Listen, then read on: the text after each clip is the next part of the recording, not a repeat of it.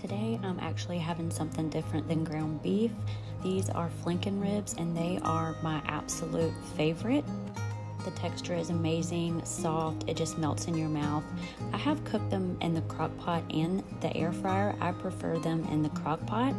I cook them on high for four hours or low for six.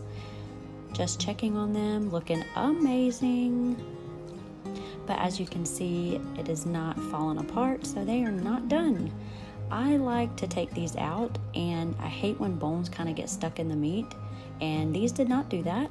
Me and the littles went on a walk, and then we came back and went on another walk. Now it is time for dinner. They are falling apart. They literally just melt in your mouth like butter. And of course, gotta add more butter. Definitely gonna make more of these and more different meats. I have been enjoying them. This is also dinner for tomorrow. I saved the juice also, but I did not show it. I was still hungry a little bit later, so I had a decaf fatty latte. It was delicious.